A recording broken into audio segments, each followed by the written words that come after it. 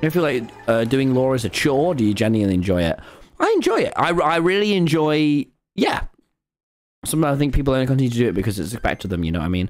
No, I enjoy it. It's it's quite hard to gauge the expectations of it and like how to, to kind of do it and sort of plan around it. I think the fun. I I watched Annie Magicians, a tribute to Dream SMP, and sort of that was very thought provoking. Thinking about when the server used to be a lot more improvisation based than lore based, But I really like. I really enjoy it, and especially some of the big stuff we've planned has been really really fun.